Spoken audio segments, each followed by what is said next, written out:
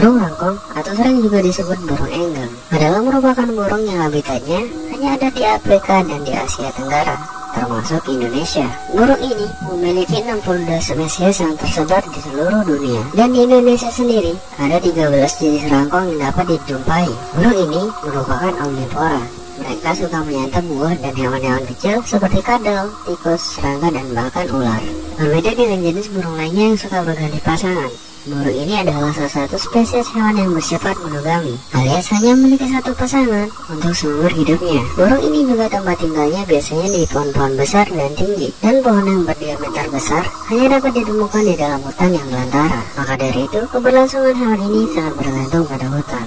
Namun, keberadaan hutannya semakin sedikit, membuat keberadaan rangkong menjadi langka dan terancam punah. Burung rangkong juga memiliki usia yang cukup panjang jika dia hidup dengan baik di alam liar. Secara umum, mereka dapat hidup hingga 70 tahun lamanya.